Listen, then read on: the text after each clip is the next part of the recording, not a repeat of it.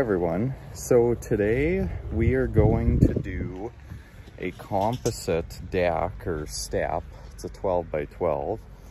Um, so a little bit different from anything I've showed on the channel. So I'll make a video of it for you guys. Let's take a look what's going on here. So we just got the old step off and loaded onto the trailer. This thing was pretty heavy, but you know, it was just a basic step, nothing fancy.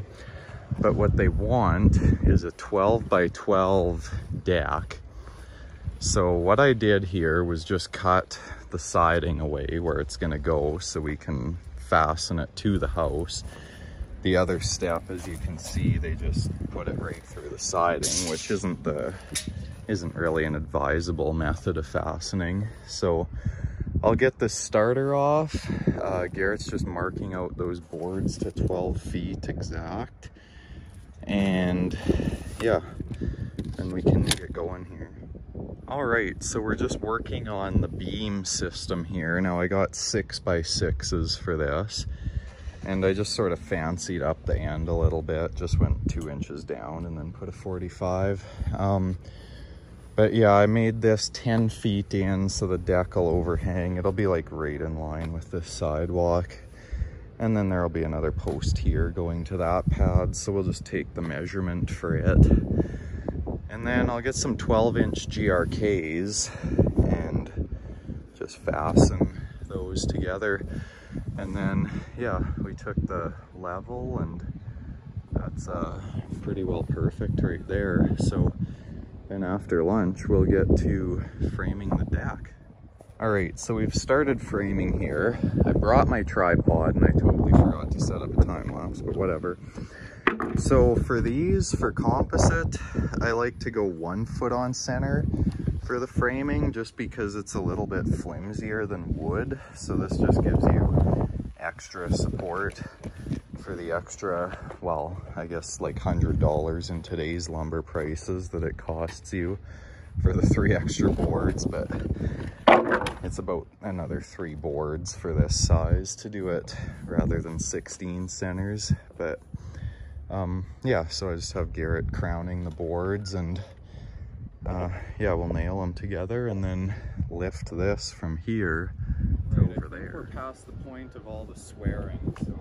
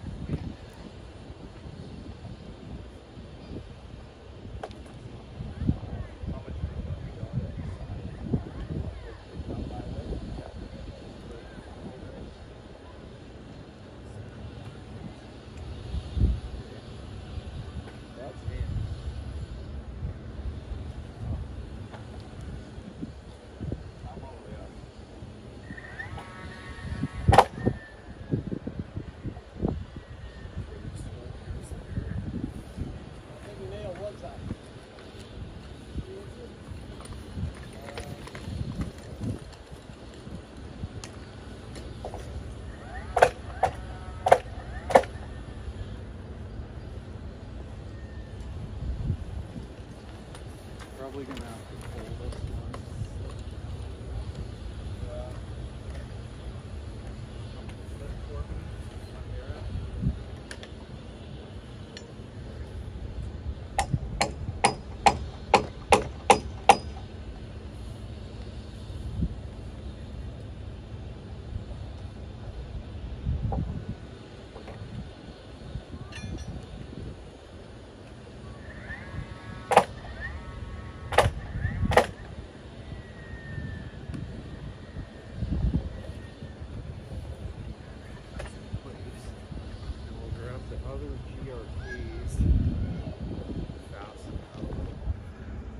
So we finally got this thing up. We got it tacked. to the beam, which is good. And this thing is solid. It does not move at all. So I don't think we will need any angle bracing in there, which I thought we might, but we won't. And yeah, checked it for level. It's perfect. So that's always a good thing. All right, so now we're beginning on putting the boards down. And what we start out with is our starter clip. Uh, this clip system, I guess I could sort of show it off a little bit.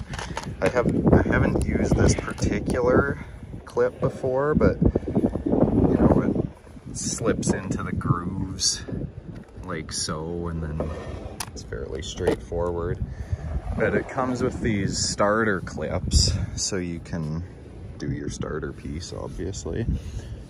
I'll try and get that clipped in here. I'm just gonna run the ends over wild and then come back and trim them all perfectly straight with the track saw. So that just slides into there like so. And then, yeah, we can start with our regular clips after this. So moving right along here, we got five pieces on already. Even Garrett got the hang of it really fast. I actually kind of like this clip system. So we're just alternating like, you know, a clip here, a clip here, and so on.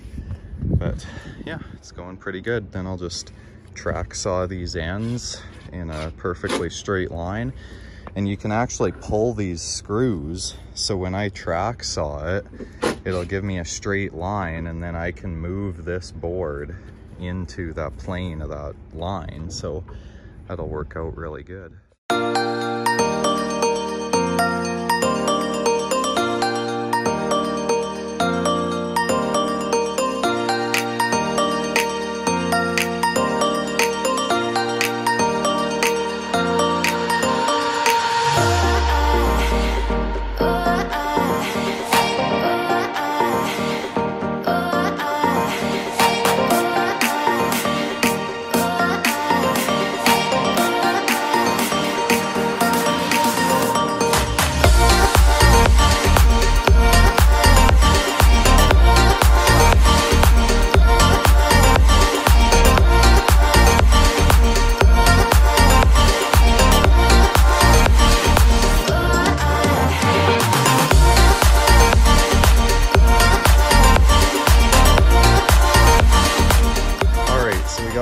Last piece cut and put in there. Fits nicely under the door threshold.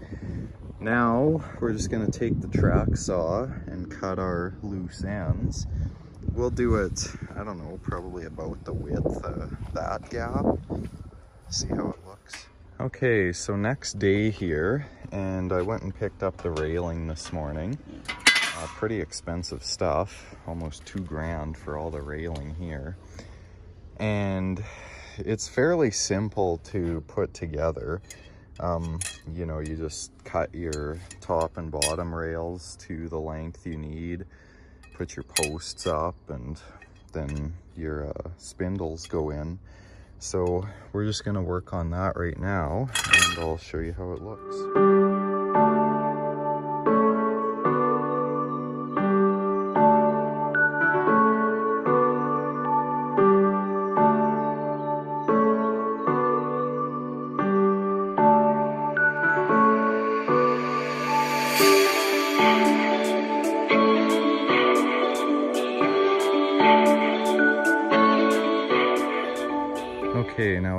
The staircase built. I didn't film any of it because it was an extremely frustrating process and I probably wouldn't be teaching you a whole lot anyways.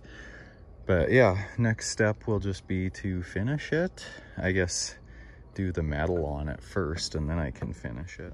So now working on the cladding for the stairs. Uh, I just broke this piece, just an inch and a half lip on the bottom and I tacked it up against the side of the stairs and traced the pattern onto it. So what this indicates where the riser is, but I want to make a flap onto the riser.